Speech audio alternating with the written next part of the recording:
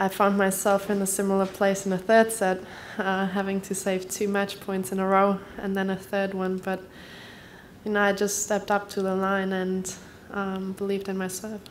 She said that you had some great serves, and you didn't really give her a chance on those match points. Can you talk about what you were trying to do with your serve? I just believed in my serve. That's what I did, and it worked. Was the, was the wind a problem with the toss? Because it seemed like both of you were, you toss and then stop.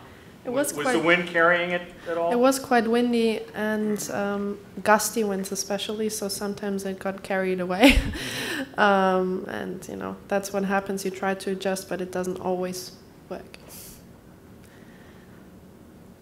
When I looked on the website, it said you had won a match here in five years. Seven, actually. Was it 7 Uh-huh. Okay. So what, what's changed and what's changed this year to, and what were your expectations coming in? Well, I had a tough start to the season, um, losing three close three setters in a row. Even though my preseason was good and we were, we had the feeling we were doing the right things off the court, working hard, and somehow it didn't pay off yet. But we kept working. I have a great team behind me, and um, they kept telling me that I'm doing the right things and uh, that they believed it will pay off. And you know now it's it's nice to see that it's starting to pay off finally. But this is an unlikely place for it to pay off considering your history. Is there something that changed with uh, how you're playing here Well, I think in the past I had problems um, adjusting to the conditions here.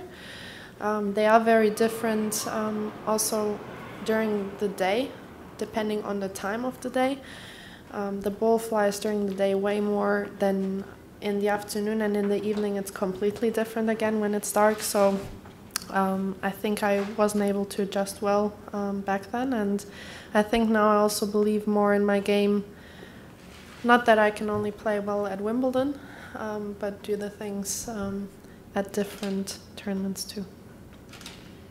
How much did the energy ramp up toward the end when they let the, the night session crowd in and, and the place started to fill up?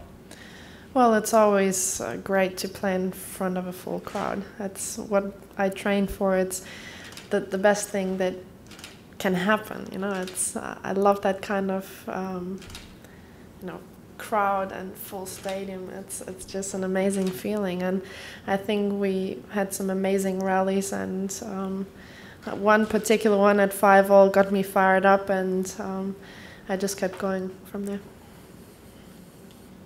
You talked about the next round going against Jelena. Uh, I have nothing to say about that yet. Sorry. yes, she does, but she had a short one today. That's the only thing I saw. Do you start entertaining the thought about winning this tournament? You're so close right now, and I'm just happy that I won today.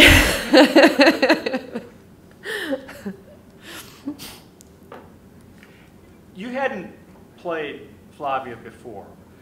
How, how much of a feeling out process is there when you're, you're playing somebody that you haven't seen across the net? Does it take like a game or two or three to, to sort of get a sense of what she's got and what you do to counter it? Yeah, of course, but also knowing that she's won here the last year, um, you know that someone feels comfortable, so you're ready for whatever comes. And um, I was ready for the match. I was ready for a fight, and I'm very happy how it ended.